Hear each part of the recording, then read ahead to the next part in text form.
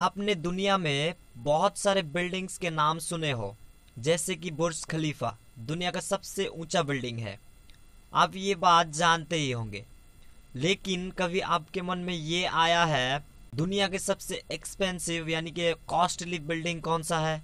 तो आप जान लो, दुनिया का जो सबसे एक्सपेंसिव बिल्डिंग है, वो ये बिल्डिंग है। आप यहाँ उनके ऑफिशियल विकिपीडिया देख सकते हो।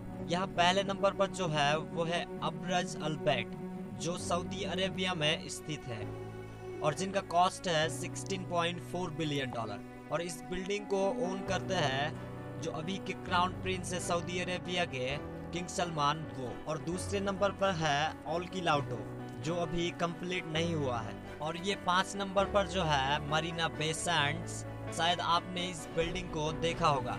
इसका जो कॉस्ट है वो है 6.3 बिलियन डॉलर और उनके बाद सिक्स नंबर पर है एप्पल पार्क जिनका कॉस्ट है 5.3 बिलियन डॉलर और ये जो बिल्डिंग है न्यूयॉर्क सिटी का ऑन वर्ल्ड ट्रेड सेंटर इसका कॉस्ट है 4.6 बिलियन डॉलर और ये पूरा वर्ल्ड में 12 नंबर पर आता है।